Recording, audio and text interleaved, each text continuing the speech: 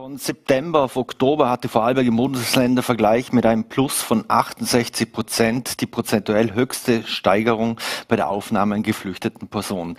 Das äh, bringt die Länder unter Druck auch und, und stellt sie vor Herausforderungen, so auch Vorarlberg. Und dazu darf ich jetzt Landesrat Christian Gantner begrüßen. Vielen Dank für die Einladung. Ein herzliches Grüß Gott. Herr Landesrat, ähm, lassen Sie uns kurz die Flüchtlingssituation im Lande beleuchten. Äh, wie viele Vertriebene und Asylwerber befinden sich denn derzeit im Vorarlberg? Also ich möchte die Situation zum ersten Mal in der österreichischen Dimension darstellen. Äh, wir haben immer vom großen Flüchtlingsjahr 2015 gesprochen. Wenn man die Asylanträge 2015 österreichweit betrachtet, so waren es österreichweit 88 Asylanträge im gesamten Jahr 2015. Betrachten wir das heurige Jahr, so sind es mit 13. November bereits über 100 Asylanträge österreichweit und hinzu kommen noch einmal mehr als 80.000 Kriegsgeflüchtete aus der Ukraine. Sprich, wir haben im heurigen Jahr, was die reine Anzahl an Asylanträgen und Kriegsgeflüchteten betrifft, mehr als wie das Doppelte wie 2015 zu bewältigen. Das stellt uns alle vor große Herausforderungen. Einerseits äh, Bund und wir haben, Sie wissen das, äh, gemeinsam mit dem Bund eine sogenannte 15a-Vereinbarung, wo sich die Länder verpflichten, anteilsmäßig äh, ihrer Einwohnerstärke auch Geflüchtete und Asylwerber zu übernehmen. Äh, wir sehen das als Land Vorarlberg nicht nur als unsere Pflicht, sondern auch als unsere Verantwortung. Wir sehen es auch als Verantwortung, diese Menschen entsprechend unterzubringen. Wir haben äh, schon wiederholt klargestellt, dass Zelte für uns keine Lösung sind. Äh, und deshalb sind wir jetzt intensiv auch auf der Suche nach entsprechenden Unterkünften. Wir haben derzeit vorarlbergweit Größenordnung 3100 Personen in Grundversorgung. Wenn wir die Quotenstatistik betrachten, sollten es knapp 4000 sein. Wir sehen, wir haben hier ein Gap von 900 äh, bis 1000 Personen. Das ändert sich auch täglich. Und hier äh, müssen wir einfach auch anerkennen, dass wir um jede Wohnung, um jedes Haus froh sind, aber dass wir zum jetzigen Zeitpunkt als zeitliche Überbrückung, das ist wichtig, als zeitliche Überbrückung auch größere Quartiere brauchen. Mhm. Wo kommen diese Menschen her? Einerseits wissen wir natürlich die Vertriebenen aus, aus der Ukraine. Äh, was ist mit den anderen Menschen? Sind das hauptsächlich Wirtschaftsflüchtlinge oder kommen die aus Staaten? Äh, in denen es um ihr Leben geht. Bei den 3100 Personen, die im Vorarlberg in Grundversorgung sind, sind 57 Prozent ukrainische Geflüchtete und 43 Prozent sind Asylwerber aus den Hauptherkunftsländern Syrien, Afghanistan, Somalia, Irak äh, und auch Indien beispielsweise. Jetzt hat gestern eine Meldung für viel Schlagzeilen gesorgt und das geht um hier in Schwarzach, gleich ein Steinwurf äh, vom Medienhaus entfernt. Da soll eine Halle entstehen, wo Flüchtlinge untergebracht werden. Jetzt hat der Schwarzacher Bürgermeister Thomas Schirle kritisiert, dass die Gemeinde nicht frühzeitig eingebunden wurde. Äh, warum haben Sie da von oben herab reagiert? Also wir haben, das ist mir wichtig und ich bin froh, dass wir hier auch die Gelegenheit haben. Wir haben natürlich ganz klar nicht äh, von oben herab reagiert. Äh, ich nenne nur ein Beispiel. Wir haben im heurigen Jahr in Vorarlberg bereits drei Quartiere eröffnet mit mehr als wie 100 Betten. Und es war uns in diesen allen genannten Fällen immer wichtig, äh, die Gemeinde frühzeitig zu informieren. Ich habe äh, bei uns im Haus äh, die Vorgabe gemacht, wenn wir in konkrete Gespräche über ein Objekt treten, dann möchte ich das zuerst wissen und mein erster Anruf ist beim jeweiligen Bürgermeister, weil es mir wichtig ist, der Bürgermeister soll das nicht von jemand anderswo erfahren, er soll es nicht aus den Medien, er soll es nicht von einem Besitzer beispielsweise erfahren. Und das hat in den vergangenen Fällen immer sehr gut funktioniert. Ich habe im Haus schon den Ruf, dass die mhm. Mitarbeiter sagen, der Landesrat muss immer zuerst mit den Bürgermeistern sprechen. Das ist mir aber wichtig. Ich war selber 13 Jahre Bürgermeister und ich weiß, es ist, dass so ein Projekt gelingt, wichtig, dass man frühzeitig auch den Kontakt mit der Gemeinde sucht. Im aktuellen Fall hat dieses Gespräch vergangene Woche am Mittwoch stattgefunden, wo ich persönlich den Bürgermeister auch die Pläne präsentiert habe. Und es ist mir wichtig, auch hier noch einmal klarzustellen, es gab weder zu dem Zeitpunkt noch jetzt äh, einen entsprechenden Vertrag, einen unterschriebenen Vertrag oder einen Vorvertrag äh, oder dergleichen. Also äh, es wurde zum frühestmöglichen Zeitpunkt auch entsprechend äh, die Gemeinde eingebunden. Das ist uns wichtig. Mhm. Wie ist es zu diesem Objekt gekommen? Ist da der Objektbetreiber oder Bauträger oder wer auch immer auf Sie zugekommen oder sind Sie auf äh, die Firma zugegangen? wir haben mehrere Aufrufe auch in diesem Medium und überall gemacht, dass wir entsprechende äh, entsprechende Hallen auch suchen, entsprechend größere äh, Unterkünfte äh, und der Kontakt wurde hergestellt zwischen unserer Liegenschaftsverwaltung äh, und dem Anbieter. Mhm. Jetzt hat der Bürgermeister in, in seinem Flugblatt äh, geschrieben, dass die Firma J&R Schertler alle bestehenden Vorverträge aufgelöst habe und das Land für äh, Vorarlberg für zehn Jahre eine Vereinbarung mit dem Bauträger abgeschlossen hat. Zudem ist heute, wurde auch noch bekannt, dass aber der Baurechtsgeber, also sprich auch der Grundstückseigentümer, keine Zustimmung geben würde, dass man dort, dass in dieser Halle zum Beispiel Flüchtlinge untergebracht werden. Wie ist jetzt da der aktuelle Stand der Dinge? Was ist korrekt und uh, was ist nicht korrekt in, in, diesen Aussagen?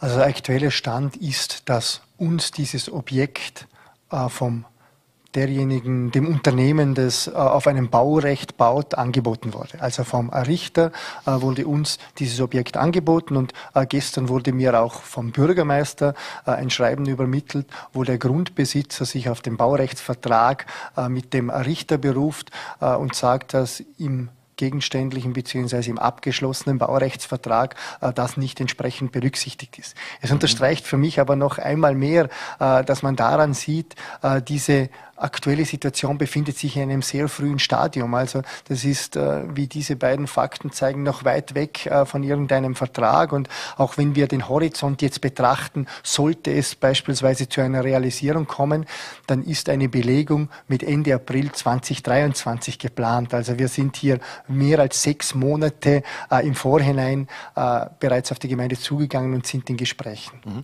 Ein Punkt, der auch noch angeführt wurde, ist, dass die Halle als Gewerbehalle gewidmet ist. Also könnte man dort überhaupt eine Asylunterkunft machen oder könnte man Asylsuchende dort unterbringen, wenn es eine Gewerbehalle ist? Was die Flächenwidmung betrifft, gibt es den Paragraph 20a des Baugesetzes, äh, der ermöglicht, dass eine Unterbringung von Flüchtlingen und Asylwerbern auf einer Fläche, die einer Bauflächenwidmung, äh, welcher Kategorie auch immer, einer Baufläche Wohnen, einer Baufläche Mischgebiet, einer Baufläche Betriebsgebiet, wie im gegenständlichen Fall möglich ist, ja. Mhm. Würde das das Land dann bestimmen oder müsste das müsste da der Bürgermeister zustimmen, der ja meist oberste Baubehörde in, einer Gemeinde ist? Also was die gegenständliche Flächenwidmung betrifft, bräuchte es keine zusätzliche Zustimmung der Gemeinde.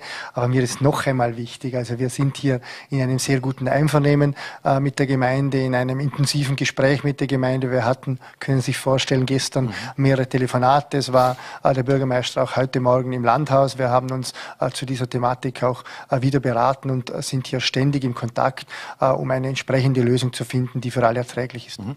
Eine Befürchtung, die Bürgermeister Thomas Schirle hat, ist ja, dass durch die zusätzlichen Flüchtlinge alle Dimensionen gesprengt werden, wie er, wie er es ausgedrückt hat. 200 Menschen würden dann Bevölkerungszuwachs äh, von 5 Prozent bedeuten. Warum will man diesen Weg gehen, eine große Flüchtlingsunterkunft zu schaffen und im, im Falle von Schwarzach der Gemeinde alles aufzubürden? Also wir müssen die Größenordnung auch klarstellen. Wir haben gesprochen von einer Unterkunft bis zu 150 Personen. Äh, Im Gespräch gestern beispielsweise haben wir gesagt, wir können uns auch vorstellen, dass wir diese Unterkunft auf 100 Personen reduzieren. Und ich möchte einfach nochmal an die Zahlen eingangs erinnern. Wir sollten 4000 Personen unterbringen, bringen derzeit 3100 Personen unter. Und ich möchte auch noch einmal daran erinnern, beispielsweise im Jahr 2015 äh, haben wir im Vorarlberg auch acht Quartiere betrieben, die mehr als 100 Personen untergebracht mhm. haben. Sind Hallen einfach einfach besser als, als Zelte, auch wenn in diesen Hallen beispielsweise, wenn es kein Oberlicht gibt, äh, äh, nur künstliches Licht, äh, äh keine Fenster, äh, also ich glaube, Hallen sind definitiv besser wie Zelte, da sind wir uns äh, alle einig. Äh, ich bin auch klar der Ansicht, dass eine Halle keine Dauerlösung ist. Das wäre ja niemals so geplant, dass die Menschen in diese Halle kommen und dann ein Jahr in dieser Halle sitzen. Äh, das Ziel ist natürlich nach wie vor, dass wir die Menschen äh, in kleinere Quartiere unterbringen, dass wir die Menschen auch letztlich äh, in jeder Gemeinde wieder Vorarlbergs unterbringen, äh, weil das durchaus auch ein Schlüssel, ein wichtiger Schlüssel zur Integration ist mehrere Handeln anzu, anzumieten über das Land hinweg, um dort eine größere Anzahl von Flüchtlingen unter, unterzubringen. Ist das nicht angedacht oder können Sie sich das durchaus vorstellen? Wir werden natürlich äh, zum jetzigen Zeitpunkt wahrscheinlich noch mehr als wie eine Halle brauchen, äh, um die Zahlen entsprechend zu bewältigen, weil uns, wie gesagt, alles wichtiger ist äh, wie ein Zelt und weil wir diese Hallen einfach als Übergangslösung, als Übergangsmöglichkeit auch zu kleinen Quartieren nützen, äh, wie es beispielsweise 2015 auch gehandhabt wurde. Wie sieht es mit der Messehallen aus? Gibt es da keine Möglichkeiten? Äh, die Messehalle ist derzeit nicht in Prüfung. Mhm. Falls man das Ganze so umsetzt äh, mit einer Halle, gibt es da dann auch ein entsprechendes Sicherheitskonzept? Äh, es wird ja unter anderem bei den Containerdörfern, die in Tirol geplant sind, äh, wird ein Sicherheitskonzept erstellt. Genau, das ist natürlich ein äh, sehr wichtiger Bestandteil. Äh, ich darf einfach noch einmal daran erinnern, wir betreiben derzeit bereits im Land drei Quartiere mit über 100 Personen. Das funktioniert sehr gut. hier sind einerseits die Anrainer eingebunden, hier ist die Gemeinde eingebunden, hier ist in sehr vielen Fällen beispielsweise auch die offene Jugendarbeit eingebunden äh, und hier gibt es natürlich auch äh, Konzepte mit der Polizei beispielsweise. Mhm. Im Sacré-Cœur Riedenburg sind ja zum Beispiel Menschen aus der Ukraine äh, untergebracht worden. In Tirol wurde auch schon darüber diskutiert, ob man in den Klöstern, in leerstehenden Klöstern Menschen unterbringen kann. Gibt es hier Potenziale in Vorarlberg? Wir sind auch mit Klöstern und mit kirchlichen Einrichtungen im Gespräch. Hier gibt es auch Angebote, ja. Mhm. Falls jemand helfen will und sagt, ich habe Halle oder ich habe äh, Wohnraum etc., wo kann man sich denn da melden äh, beim Land oder ähnlichem? Also es gibt die Möglichkeit, dass man sich beispielsweise bei der Caritas melden kann. Caritas Flüchtlingshilfe ist ein Kontakt äh, und ein Kontakt auch direkt zu mir, äh, an meine E-Mail-Adresse, an unsere Telefonnummer. Äh, wir sind hier sehr froh um jede Unterkunft. Mhm. Wenn ich äh, Wohnraum zur Verfügung stelle, äh, mache ich das dann sozusagen aus Nächstenliebe oder wird da, äh, gibt es eine Entschädigung dafür? Kommt das Land äh, für den bereitgestellten Wohnraum auf und auch für etwaige Schäden, die entstehen können? Also wir wenn wir die beispielsweise jetzige Situation betrachten, dann haben wir 70 Prozent der Personen in sogenannten organisierten Quartieren untergebracht. Das sind Quartiere, die äh, von der Caritas beispielsweise begleitet und organisiert werden. Das sind auch Quartiere, die äh, von der ORS, einem weiteren externen Betreiber, betrieben werden. Und Daneben haben wir circa 30 Prozent der grundversorgten Personen in sogenannten Privatquartieren untergebracht. Das ist ein Quartier, mhm. wo jemand private Wohnung anbietet, wo jemand privat beispielsweise äh, auch nur ein Zimmer anbietet. Äh, dafür gibt es auch eine entsprechende finanzielle Abgeltung, da gibt es Entschädigung. Äh, reich wird hier niemand, das muss man in diesem Zusammenhang auch sagen, aber diese Menschen äh, werden entsprechend äh, abgegolten und entschädigt. Was wir aber schon auch erkennen, während wir beispielsweise bei den Ukraine-Geflüchteten in der Anfangsphase 60 Prozent in Privatquartieren und nur 40 Prozent in organisierten Quartieren hatten, sehen wir, dass diese Tendenz sich jetzt mittlerweile äh, natürlich stark umdreht. Wir mhm. hatten hier ein große Hilfs, äh, ein großes Gefühl, dass die Menschen helfen wollten, äh, aber da war immer noch irgendwo im Kopf, ja, der Krieg geht ein paar Monate beispielsweise in der Ukraine und jetzt zeigt sich immer mehr, äh, das Ganze geht länger und deshalb entwickelt sich das auch immer wieder stärker vom privaten Quartier ins organisierte Quartier. Mhm. Erhalten Sie Signale aus den Gemeinden, dass die Gemeinden bereit sind, äh, noch weitere äh, Vertriebene oder auch Asylwerber aufzunehmen? Ja, wir sind in einem sehr engen Austausch mit den Gemeinden und das ja auch nicht erst seit den letzten Wochen. Wir sind beispielsweise letztes Jahr im Herbst schon in regelmäßigen Videokonferenzen auch äh, auf die Gemeinden zugegangen. Wir wissen, dass wir diese Situation nur im Miteinander, im Miteinander zwischen Land und Gemeinden und letztlich auch der Zivilgesellschaft äh, handeln werden können und bewältigen werden können. Äh, die Gemeinden sind für uns wichtige Partner. Wir haben Gemeinden, die uns gerade in den vergangenen Monaten schon sehr stark geholfen haben was in kleinen Gemeinden Quartiere betrifft, was aber auch in großen Städten, ich erwähne beispielsweise äh, nur Dornbirn, Feldkirch, auch Hohenems, wo in absoluten Zahlen äh, auch bereits äh, ganz viel leistet. Äh, hier geschieht viel und wir laden alle Gemeinden, die äh, noch keine Flüchtlinge untergebracht haben, ein, äh, sich daran auch zu beteiligen. Mhm. Natürlich wird von allen Seiten eine EU-weite Regelung gefordert, was die Aufnahme von Asylwerbern und, und Flüchtlingen betrifft. Wie viel Hoffnung haben Sie, dass da irgendwann einmal eine Entscheidung kommt und dass die auch gleichermaßen von allen äh, umgesetzt wird? Macht das gar keinen Sinn, auf äh, so etwas zu warten, sondern lieber selbst die Ärmel hochzukrempeln und anzupacken? Doch, das ist für uns wichtig. Also wir sagen, wir hatten eine 15a-Vereinbarung, die sagt einerseits, dass die Gemeinden äh, und die Länder dazu verpflichtet sind, hier für die Unterbringung zu sorgen. Ich habe bereits ausgeführt, dazu stehen wir auch, aber eine Vereinbarung hat immer zwei Seiten. Und wir äh, fordern auch von der anderen Seite ein, ihre Hausaufgaben zu machen. Dazu zählt für uns beispielsweise ein konsequenter EU-Außengrenzschutz. Hier zählt für uns ein starkes und äh, resegerantes Vorgehen gegen Schlepperei, gegen illegale Migration. Hier zählt für uns auch, dass wir in Europa es wieder schaffen, einheitliche Grenz- und Visabestimmungen zu haben. Es kann nicht sein, dass Inder beispielsweise visafrei nach Serbien einreisen und damit dem Schlepper zu uns kommen. Wir fordern auch, dass es eine gerechte Aufteilung innerhalb der EU gibt. Wenn wir die Klientel der Asylwerber beispielsweise betrachten, dann ist Österreich nach Zypern das zweit stärkst betroffene Land, was die Asylanträge pro Kopf betrifft. Und uns ist es auch wichtig letztlich, dass wir weiter bei schnellen Asylverfahren bleiben äh, und wirkungsvolle Rückführungsabkommen haben. Es kann auch nicht sein, wenn jemand einen negativen Asylantrag hat, äh, dass das Herkunftsland die Person dann nicht aufnimmt. Also es braucht diese Ebene auch ganz stark, äh, weil wir nicht nur unten Plätze schaffen können, Anführungszeichen, sondern wir müssen auch eine große Lösung finden für das Ganze. Mhm. Die EU-Außengrenzen stärker zu kontrollieren, zu schützen, ist das eine. Die österreichischen Grenzen stärker zu kontrollieren, äh, das andere. Würden Sie für stärkere Kontrollen an den österreichischen Grenzen plädieren?